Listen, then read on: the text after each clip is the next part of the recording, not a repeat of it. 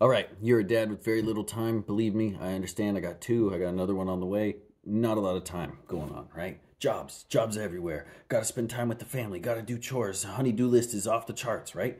How do you do it? 15 minutes a day, set that time aside, try to run a mile. Run a mile as fast as you can. There you go. That's how you get your cardio in.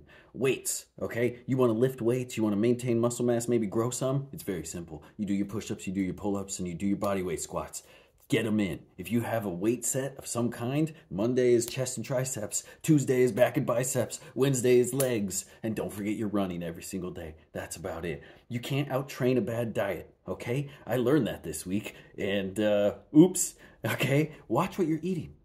Watch your portions. Time your eating if you need to. Do whatever you got to do to make sure that stuff going in here doesn't make you bigger, okay? It's very simple watch what you're eating. Pay attention because you will sabotage yourself. uh, yeah, that's the best I'm going to give you in this little short clip. Do your cardio, do your weights, watch what you're eating. You can do this. Juggle it all, get it done, achieve your goals. I believe in you. Take care of yourself. Talk to you later.